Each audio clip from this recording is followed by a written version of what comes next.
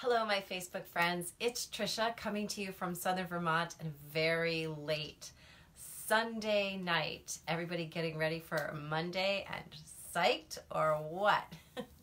I wanted to talk to you real quick about what is keeping you from losing weight. And when I mean, when I say weight, I don't really mean weight, I mean fat.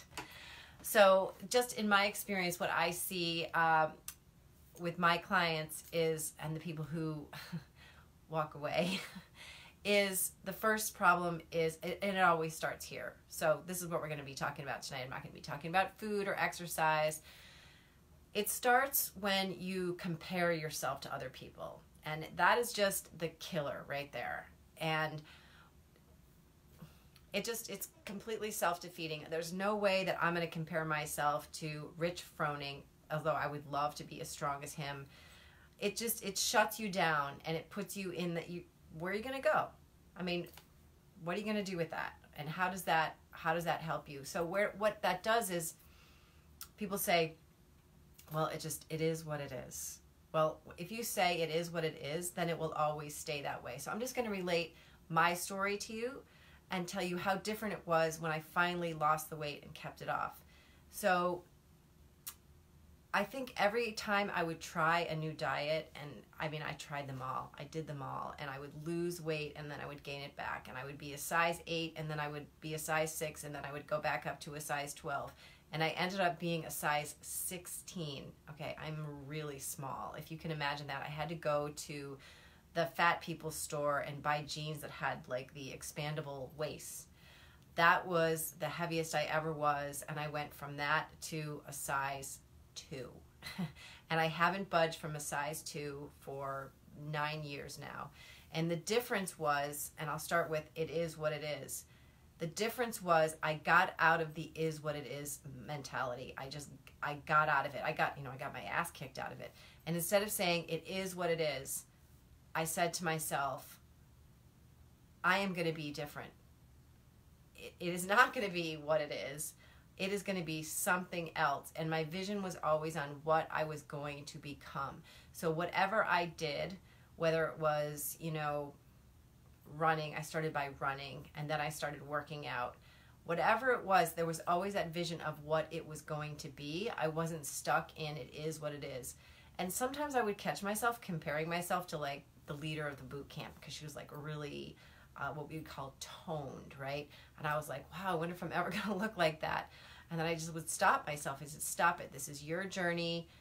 You're going at your speed. Just keep going and going. Because when we compare ourselves to other people and they are way ahead on their journey and we're right here, often what happens is it just, we stop.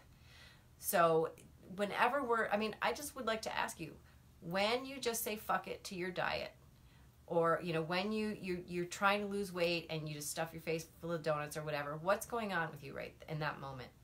Because i can't really you know i say the reason you can't lose weight but you know why. You know why you fall off. Is it because you're trying to use deprivation? Is it because you're trying to white knuckle yourself through change? Is it because you're not attached to the vision of how it can be? So you always have to think about you have to get into how it's going to feel when you get there. So, still, every single morning, every morning, I'm just going to lay it out there for you. Every morning, I just envision what it's going to feel like when I can dive into the ocean and swim out to a sailboat. Because, like, I want to have that kind of energy going into, you know, being 80. So there's always this vision of what it can be. So if you're comparing yourself to other people and you're just saying it is what it is, it's just going to stay exactly the same way. I hope that makes sense. I mean, I can tell you what to eat and I can tell you how to exercise, you know, till the cows come home. And there really are cows here. but until you get into your head and you fix this, you stop telling yourself the same old story. So, what if diets have failed a million times? Who cares? Like, just because it, the past, what's happened in the past, has nothing to do with what can happen in the future if you let go of the story. So that's what I that's what I was thinking about tonight. I was just thinking about how there was this just turnaround in my head when I finally just decided I'm done being fat.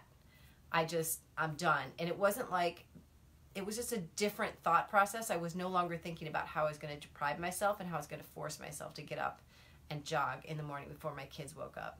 Was different. It was like, I'm going to feel different. I'm going to do different. It's going to be different.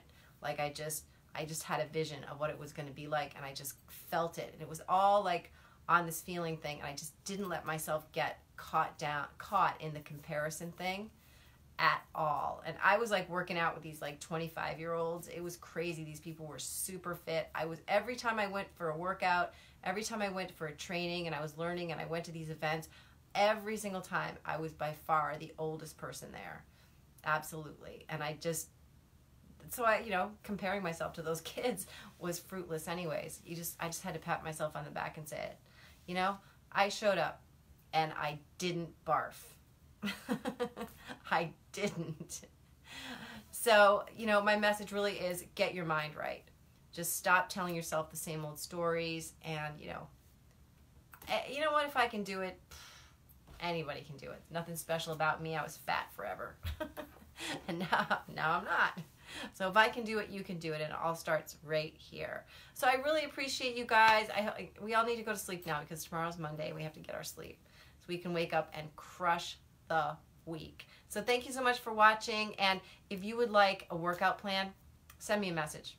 I would love to send you my, I have a great uh, dumbbell workout plan. I just totally love. It's basically how I got ripped. because you know, if you lift weights, you're to burn more fat. I wasn't to talk about the details, but hey, hey, Ruben, you should be going to sleep. Like, Ruben, we need to get up. I don't know, you're up at ridiculous o'clock in the morning too. I'm to get up at 4.30. I'm sleeping in.